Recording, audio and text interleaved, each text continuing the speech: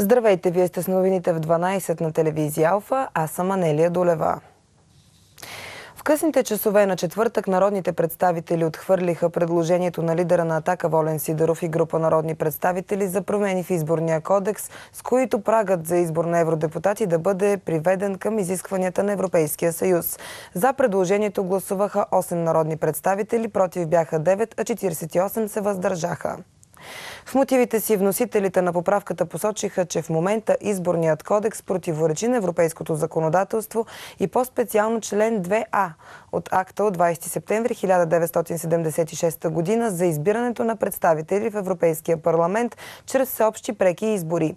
Съгласно него, държавите членки могат да определят изборен прак, но този прак не може да надвишава 5%. От атака са категорични, че действащият ефективен прак от 5,88% е в директно противоречие с законодателството на Европейския съюз. Според вносителите, въпреки че прагът е по-нисък от този при провеждане на национални избори, естественият такъв е от 3% е напълно достатъчен, защото в Европейския парламент мандати получават субекти с значителна електорална подкрепа. С отхвърленото предложение парламентът продължи политиката на облагодетелстване на големите партии при провеждането на избори за Европейски парламент у нас. Парламентът прие окончателно промените в изборния кодекс. Беше отхвърлено искането за нов състав на Централната избирателна комисия. Депутатите решиха да увеличат прага за преференциалния вод. Така кандидат ще може да измества по-преден, само ако за него има толкова гласове, колкото са нужни за един мандат. Номера пред партиите в бюлетината ще има, но те ще се различават от тези на преференциите – с преференция ще се гласува с трицифрено число. След местните избори през 2019 година всички избори ще се провеждат само с машини, решиха още депутатите. Това изискване няма да въжи за чужбина и подвижните секции, както и тези с под 300 избиратели. На Евровота през май трябва да се осигурят 3000 машини, а за местния вод на есен 6000. Електронното гласуване беше отложено. Видео Наблюдение в секциите няма да има. Няма да се огласяват и социологически проучвания в деня на размисъл и този на вота.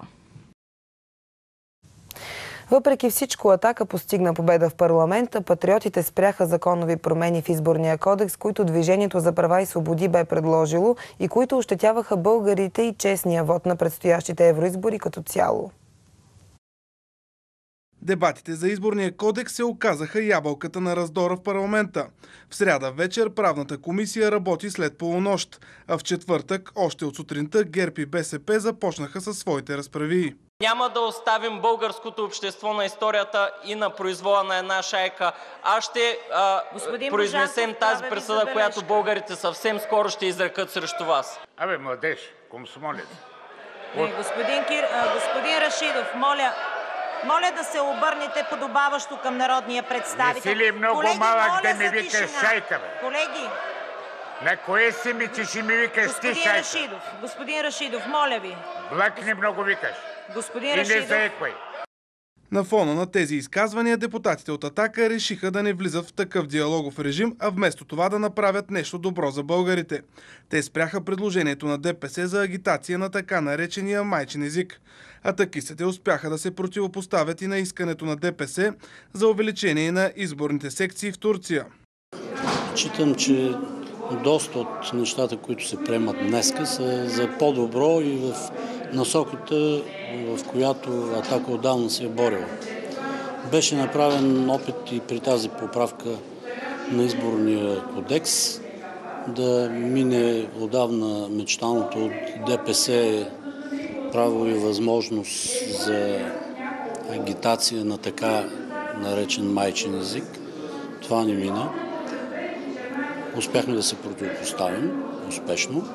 Друг успех в тази насока е, че се удържа броя на секциите извън Европейския съюз на 35, както беше до сега, но тук ДПС хвърли огромни усилия и направи невероятни пазарвъци с БСП и с ГЕРБ да се пробие това правило. Остана си и уседналостта, такава за каквато сме се борили 6 месеца, което е стар наш успех, но за някои от нещата трябва непрекъснато да се борим, трябва да напомняме и трябва да ги поддържаме естествено. Това също успяхме. До днес имаше една голяма опасност.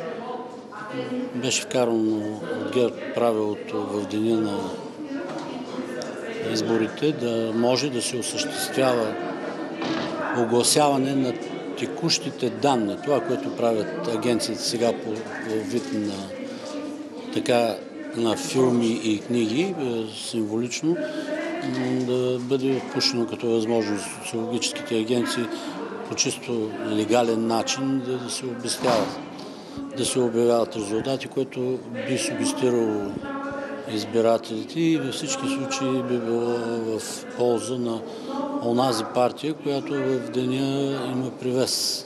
В късните часове на вечерта на депутатите им предстои да гласуват още. Днес се надявам до голяма степен да отпаднат онези елементи от правилото във връзка с преференциите, които го усъкътяват, които страшно така го изкривяват и го довеждат до абсурд.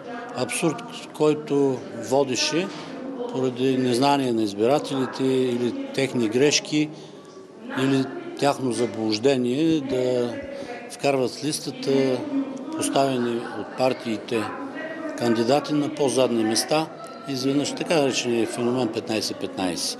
И се вкарваха и народни представители, и общински съветници, и евродепутати, без никой на практика да не ги е желал и се надяваме да бъде направена една такава корекция, която дойде до реални резултати и до реален ефект. С огромно съжаление обаче трябва да отбележа, че не минава и няма да мине съвсем основателното, добре примислено наше предложение за свалянето на прага. Според изискването в Европейския съюз за прак от 5%, сега знаем, че той е 5,80. А на всяка в Европа е 5? 5,8, да. Абсолютно прав сте.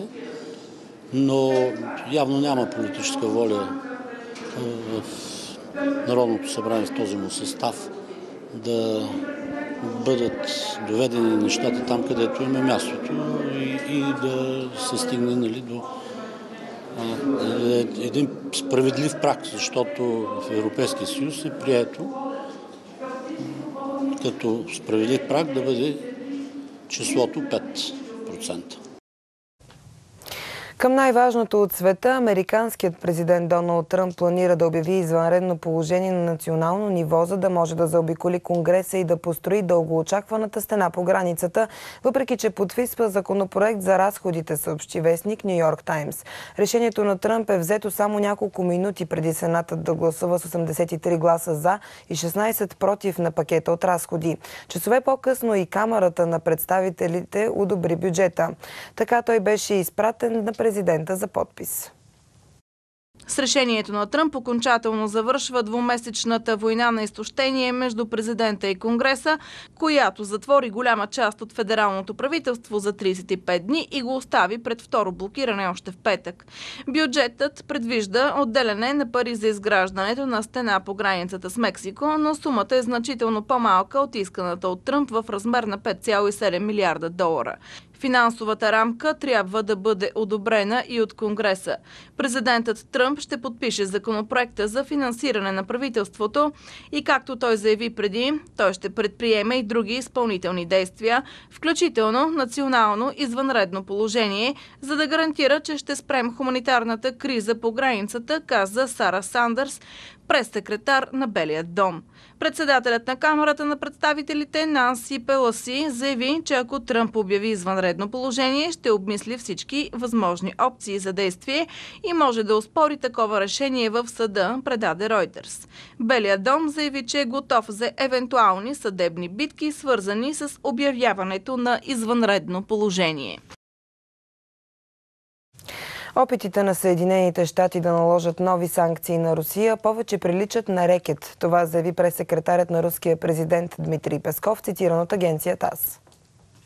Русия за сега не вижда перспективи американските парламентаристи да се излекуват от заболяването бясна русофобия, заяви Песков, коментирайки подготовката на новите санкции срещу Русия, предложени с законопроект в Конгреса на САЩ. Руският дипломат отбеляза, че на теория човек винаги трябва да се надява на най-доброто, но да се подготвя за най-лошото. Но в този случай, предвид настроението в Конгреса на САЩ, няма надежда за подобрение на нашите двустранни отношения или поне стабилна ремисия на болестта на русофобията.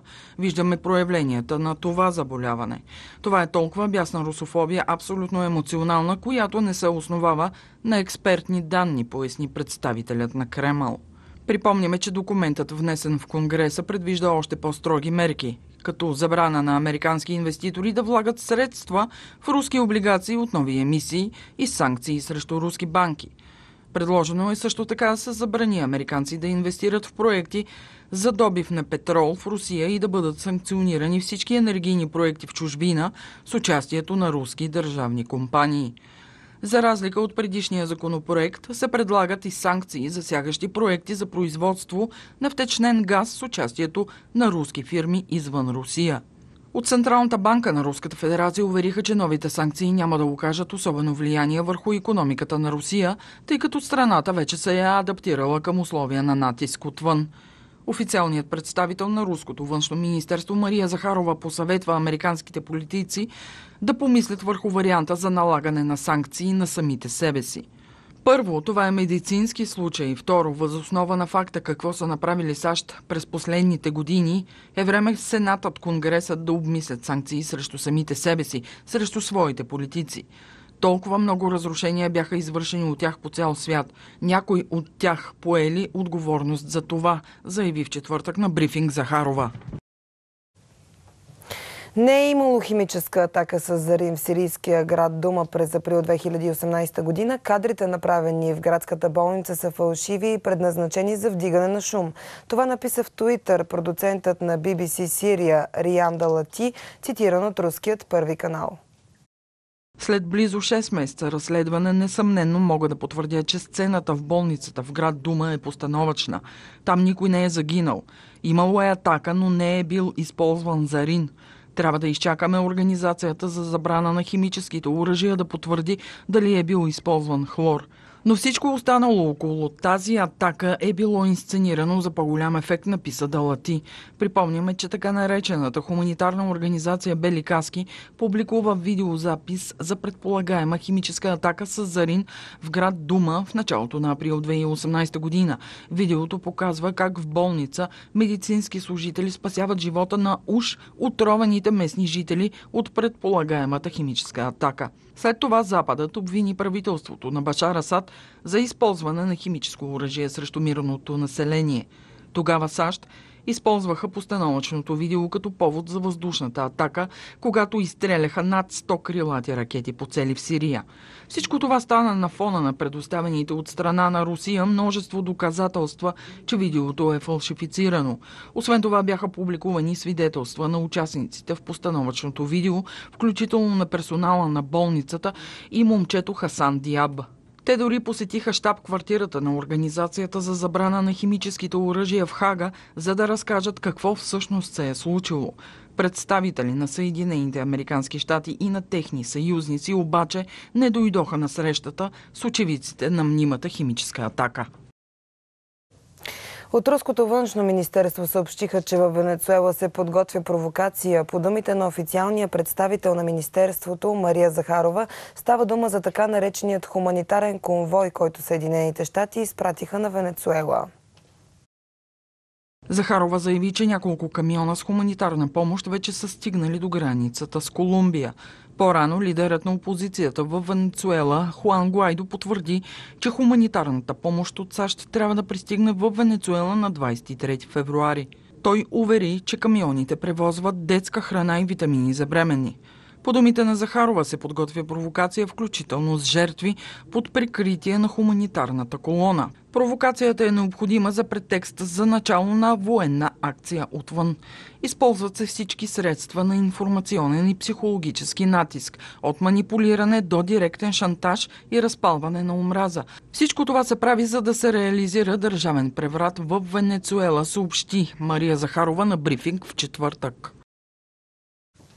Това бяха и по-важните новини до този час. Вие останете с програмата на телевизия Алфа. Не пропускайте и нашия централен информационен блок в 18 часа, както и предаването на Жълтите павета в 18.30. От мен и целият екип. Хубав ден!